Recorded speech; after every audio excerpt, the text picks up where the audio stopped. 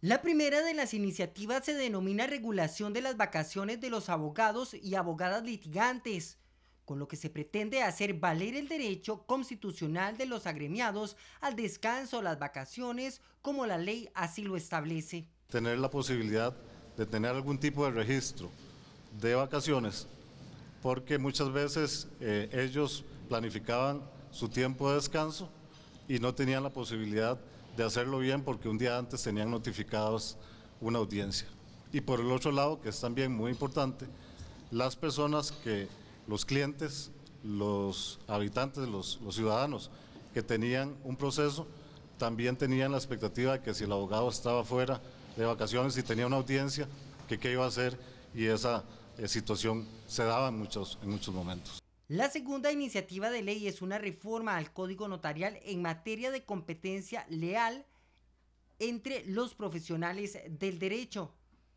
Los cambios afectarían los artículos 67, 21, 23, 137, 143, 145 y 166 del Código Notarial. Con este proyecto vamos a solucionar quizás tres cosas fundamentales. Una, que es garantizarle a la población tener un sistema adecuado, visible, transparente del pago de los honorarios de los abogados. Eso le garantiza también al abogado que a través de su trabajo, el que lo hace adecuadamente, conscientemente y responsablemente, este, va a ser remunerado en la forma que establece la ley. Y por otro lado también incluimos en el proyecto que desde la parte fiscal también el Estado eh, se garantiza que a través de estos mecanismos tenga una visibilidad este, más directa. Prohíbe a los notarios no cobrar por debajo de los aranceles establecidos.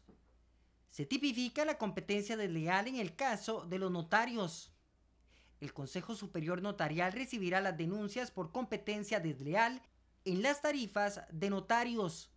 Se establece además una sanción para casos de competencia desleal que puede ir de los seis meses a los tres años de suspensión.